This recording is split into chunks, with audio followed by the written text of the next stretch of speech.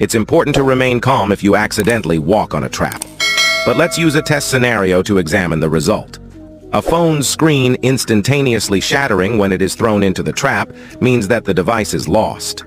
An iPad experiences the same end. Non-Newtonian fluids, which are supposed to get stronger under pressure, show their limitations by softening as soon as they come into contact with the trap. However, what would happen if someone trod on it by accident? In order to replicate this, a fragment of pig bone is placed in the trap and is crushed right away. Nonetheless, a cow bone would be a more appropriate comparison due to its closer resemblance to the human skeleton.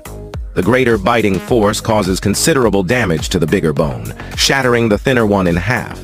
If the trap had serrated edges, the force would be increased. You could question what would be the most interesting thing to put within a trap this strong.